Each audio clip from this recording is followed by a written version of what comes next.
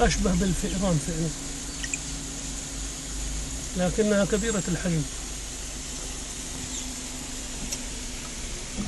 يا أخي يكون ال- الوبر يا أبو عبد الله. تسبح تدخل في الماء كذا وتشد ترفع